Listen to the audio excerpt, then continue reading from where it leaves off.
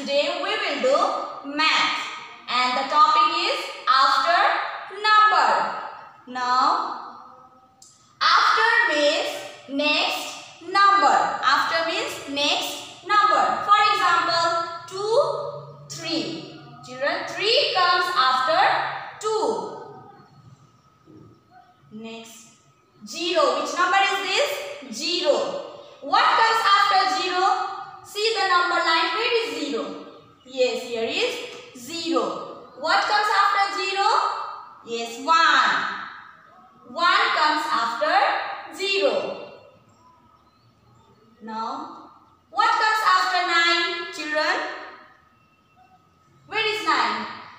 Here is 9. After 9 is 10. 1, 0, 10. 10 comes after 9.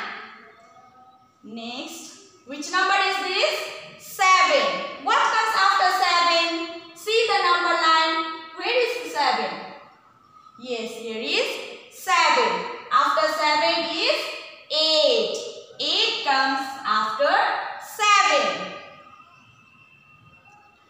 Next, which number is this? 5.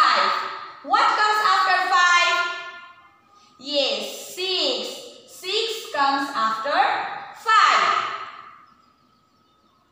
Next, which number is this? 2. What comes after 2?